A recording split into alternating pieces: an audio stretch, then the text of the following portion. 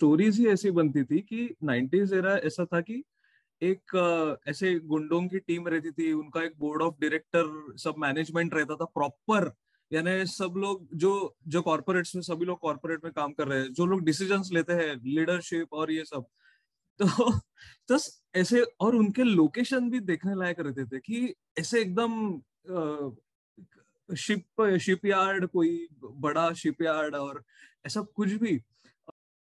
श्रेयस का पॉइंट था ना कि हाइप वालों के हमेशा ओपिनियन रहना चाहिए। वैसे ओपिनियन के चक्कर में अपने दो तीन घंटे निकल जाते हैं। अब जो एकदम रैंडम कोई अच्छी मूवी बुरी मूवी कोई भी हो वो वैसे पुल देश पांडे का डायलॉग है।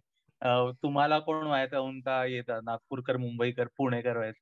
तो पुणे में पुणे में अगर रहना है तो आ, हर चीज़ पे ओपिनियन होना ज़रूरी है। तो वैसे ही है कि अगर सोसाइटी में रहना है तो मूवीज़ पे ओपिनियन होना ज़रूरी है।